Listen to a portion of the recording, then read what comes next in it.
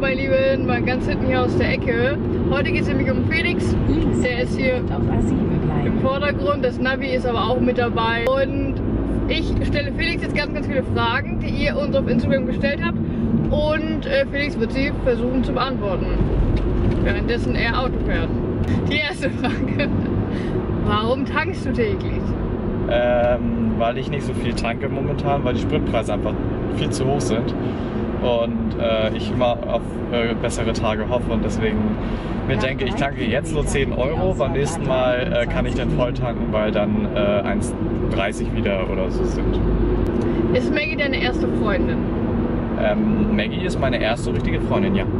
Hast du dir vor fünf Jahren vorgestellt, dass dein Leben jetzt so ist, wie es gerade ist? Vor fünf Jahren. Ähm, ehrlich gesagt, nein.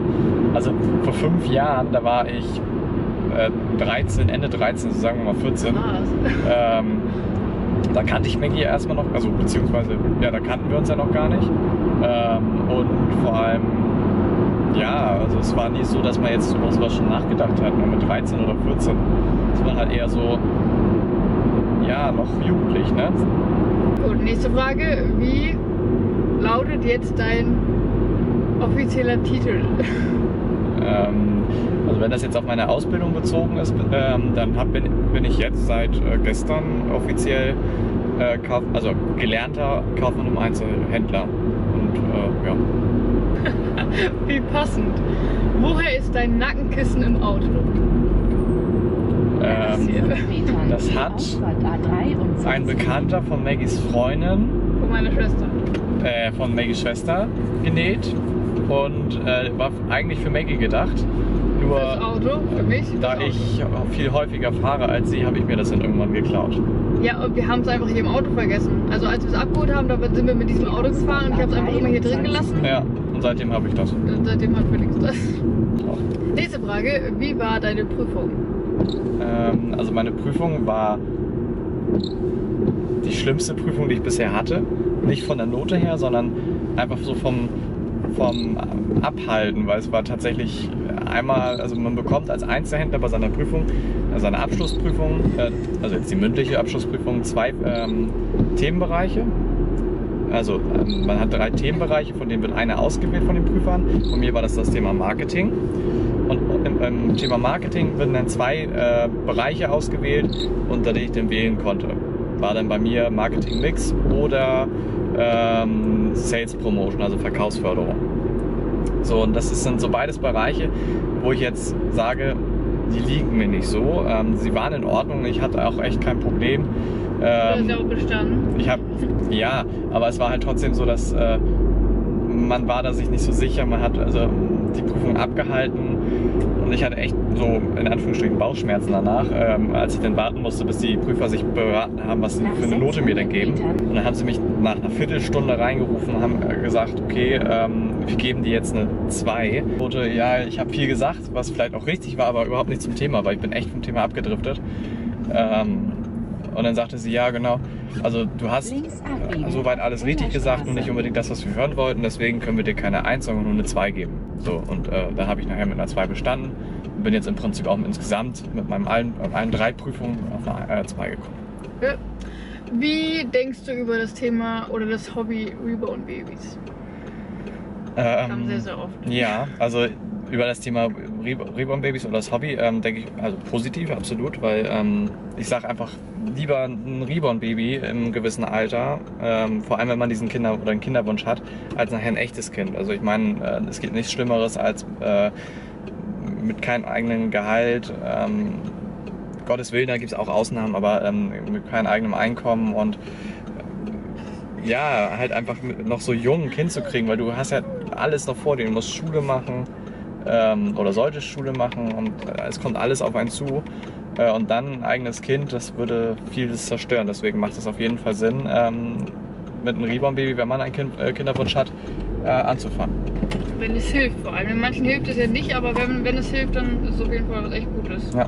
Also nächste Frage. Würdest du mich eher lieber geschminkt sehen oder ungeschminkt? Also öfters geschminkt oder natürlich? Also ich bin ja eh immer Mensch, ich finde äh, Natura schöner. Ähm, weil letzten Endes äh, finde ich dann ja, wenn, wenn sich ein, eine Frau oder ein, ein Mädchen schminkt, ähm, nicht mehr das Gesicht schön, sondern eigentlich das, was, was aus dem Gesicht gemacht wurde. Und deswegen, ich bin immer ein Mensch, der, der das Natura ähm, äh, so am liebsten mag, weil das einfach, also das ist einfach meine so Meinung, meine, meine Meinung, ne?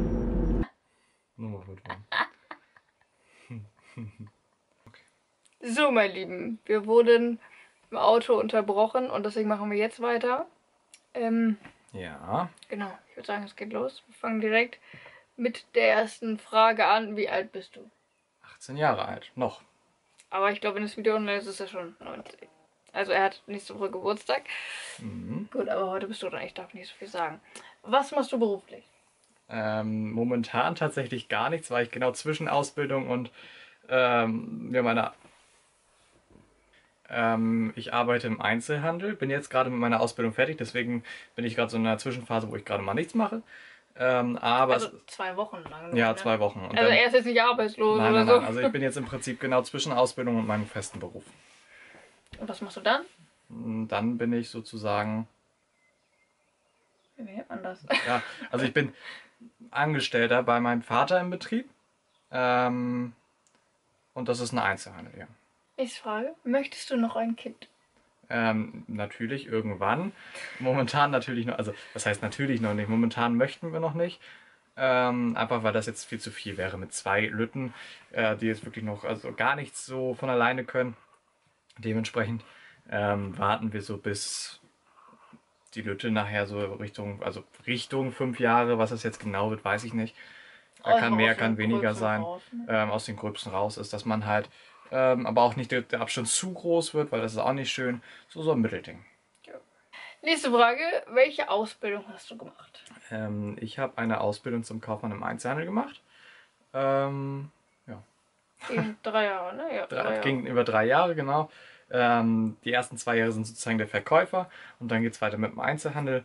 Ähm, aber da ich vom Anfang an gesagt habe, ich mache Einzelhandel, waren es halt immer drei Jahre. Ne? Kannst du kochen? Ähm, also bedingt. Also ich kann die einfachsten Sachen kann ich in der Küche, sprich Pizza, Fertigtüten, das kann ich. Ähm, Pizza. Ich könnte, glaube ich, auch mehr ohne Probleme, bräuchte dann aber auch immer ein Buch dazu oder ein, äh, vom Internet irgendwelche Rezepte. Dann ist das kein Problem. Also ich bin jetzt nicht äh, einer, der nicht mit äh, den Küchengeräten umgehen kann oder ähm, ja, gar nichts kann. Also ich kann, die Grundbasics kann ich. Ich würde auch Spaghetti selber hinkriegen ohne Rezept. Aber ähm, dann äh, so noch höher wird dann schwer ohne Rezept. Also tatsächlich entweder mit Rezept, äh, schwere Sachen auch, aber oder halt ohne und dann die ganz leichten. Ich kann grillen. Stimmt, das ist. Er kann grillen.